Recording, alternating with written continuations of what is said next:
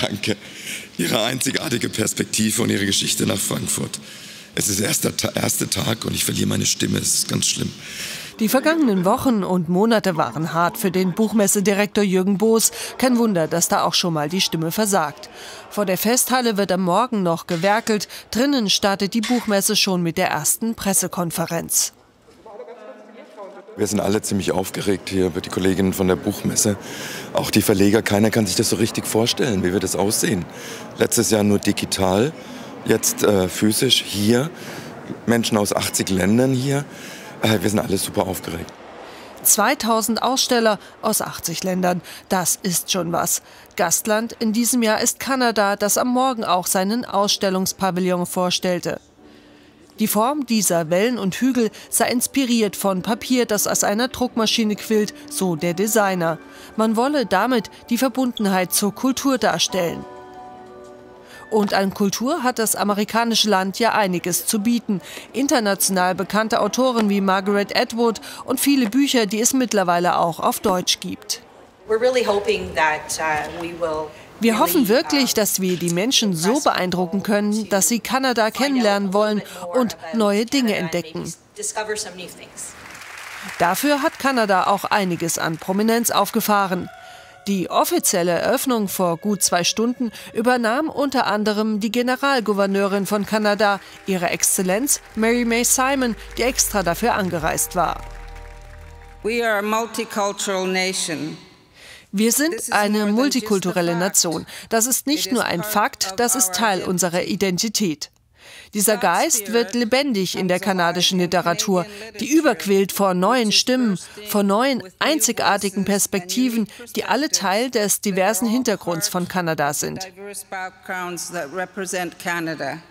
Das ist unsere singuläre Pluralität und wir wollen sie mit Ihnen und dem Rest der Welt teilen. Doch so ganz Friede, Freude, Eierkuchen war heute nicht alles. Die Buchmesse musste erneut Kritik einstecken, weil sie auch in diesem Jahr rechte Verlage als Aussteller erlaubt.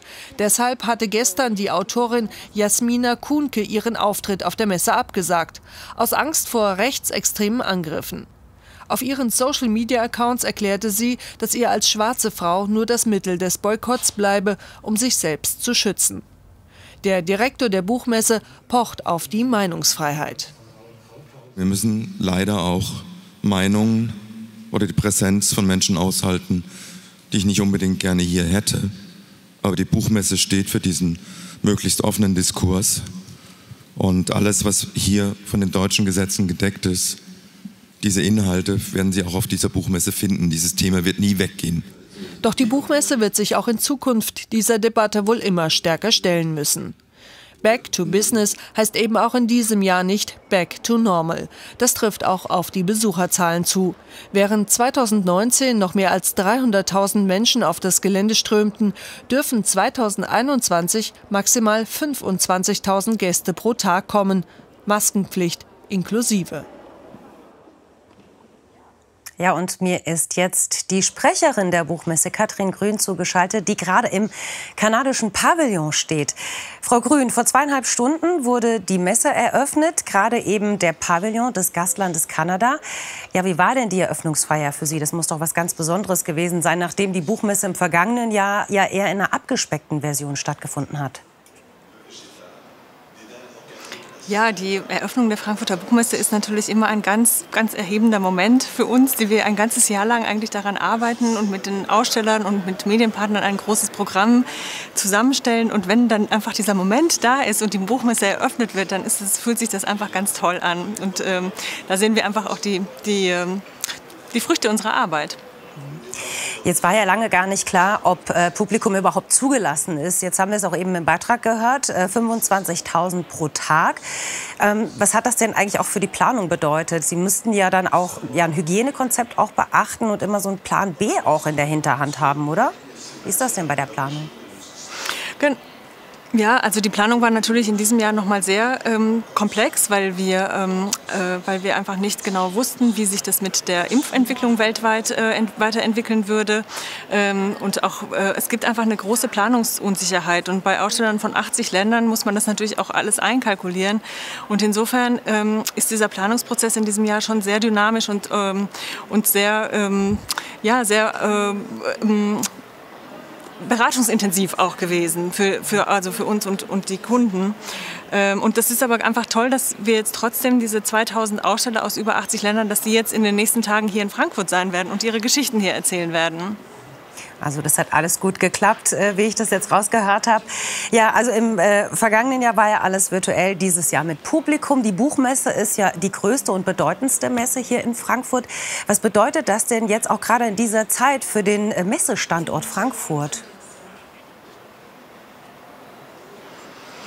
Ja, mit der Frankfurter Buchmesse ist einfach eine internationale Veranstaltung von Weltrang in der Stadt, die ähm, die Aussteller wirklich aus der ganzen Welt hierher bringt. Das ist natürlich auch wirtschaftlich ein, ein wichtiger Faktor und man merkt es natürlich auch in einem Jahr, wo sowas wegfällt, äh, dass es da den Hotels und den Gastronomen und so weiter, dass das einfach für die auch schwierig ist. Frau Grün, also dass äh, sich da auch viel verändert hat in der Branche. Mhm. Ja, also die sind natürlich auch glücklich, dass es jetzt wieder stattfindet. Jetzt noch mal ganz kurz zum Schluss. Am Wochenende dürfen ja auch wirklich alle Besucher hingehen. Worauf müssen die denn achten, wenn sie zur Messe gehen? Genau, das Buchmessenwochenende beginnt in diesem Jahr schon am Freitag um 14 Uhr. Äh, da können schon Besucher auf das Messegelände kommen und sie können auch da schon Bücher kaufen bei den, bei den ausstellenden Verlagen. Und es ist natürlich so, dass man auch an den, an den Eingängen, wir haben zwei Eingänge auf das Gelände, dass man da einfach ein bisschen Zeit mitbringen soll. Es wird nach 3G kontrolliert. Ähm, also man muss einfach ein bisschen Zeit mitbringen. Also. Aber es wird auch, glaube ich, sehr ähm, professionell abgefertigt. Ja, also auf jeden Fall Zeit mitbringen, das ist ganz wichtig. Katrin Grün, Sprecherin der Buchmesse in Frankfurt. Dankeschön für das Gespräch. Vielen Dank.